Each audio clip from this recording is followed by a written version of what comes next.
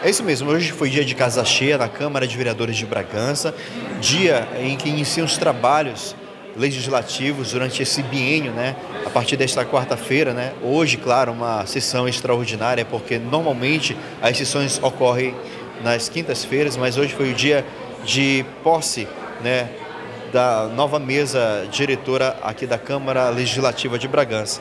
Lembrando que é, o presidente da casa agora é o Marinaldo Ambrósio, mais conhecido como Marico, o novo presidente da casa. Fernando Julifé, ele é o vice-presidente. Aí seguem as é, secretarias, né? O primeiro secretário é o Deco Lima, o segundo o Francisco Mendes, ou Chico da Pesca, e o terceiro Zeca do Treme.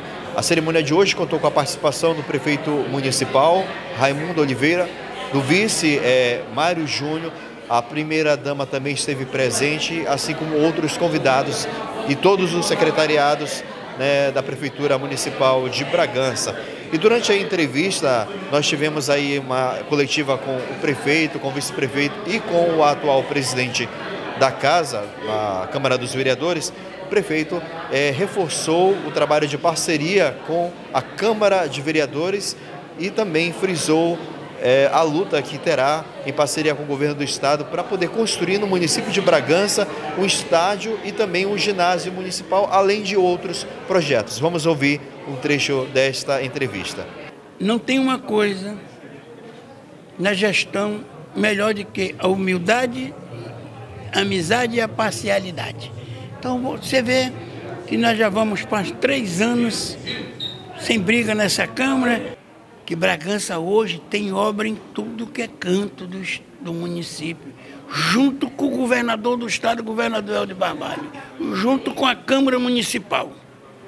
Estamos aqui para isso. Agora mesmo, eu vou para lá pedir para o governador o nosso estádio de futebol e, rapaz, o pedido é e o estádio municipal, o ginásio municipal para nós já demos terreno. Olha aí, vem a creche, vem muita coisa, vem a creche, vem a usina, a usina da paz, vem a, a, a Montenegro, vem a feira, vem a, a orla do, da cidade, vem a orla de Ajuriteua.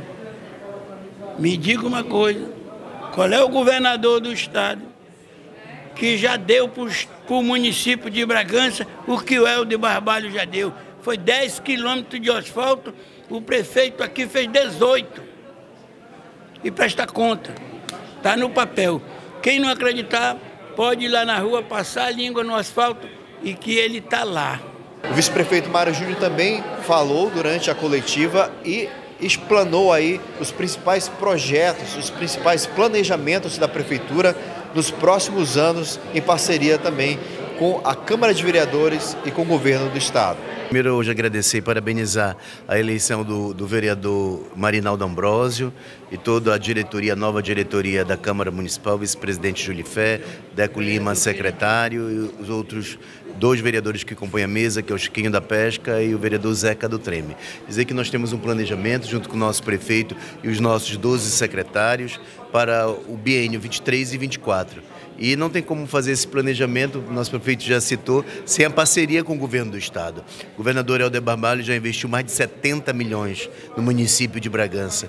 E por isso que teve uma votação maciça aqui no nosso município, com 51 mil votos né, que o recolocaram com a presença de Bragança como governador reeleito. Então Bragança caminha para terminar as obras que estão em andamento, que é a Orla de Ajuruteu, a Orla do Rio Caeté, o programa Asfalto por todo o Pará continua, né? já foram feitos 13 quilômetros. Né? E a gente tem a, Avenida Governador Minonça Furtado, que também entrará em processo licitatório para ser pavimentada, com ciclovia também nessa área. Nós temos também pontes que estão sendo construídas naquela região do, do, do dos Rios Cereja e também naquela região ali da Vila Sinhá Itaíra, ali no Buraco do Cobrão.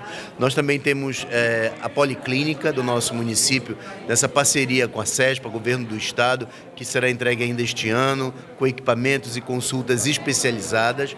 Nós temos também é, a Prefeitura Municipal de Bragança, que é uma obra que também está em execução e caminha para a sua entrega, para a sua finalização. E também a Usina da Paz, já citado, que será um momento de grande alegria para todos nós, né, prefeito?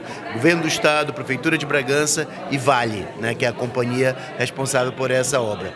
E por fim, agora a gente vai ouvir a fala do presidente da casa, o Marico, né, que falou sobre é, essa parceria que deve ter com o governo municipal e dar continuidade nos trabalhos à frente da casa. Os trabalhos têm que ser em parceria, né? Como está acontecendo, a gestão do seu Raimundo e do vice-doutor Mário tem sido uma parceria que tem dado certo.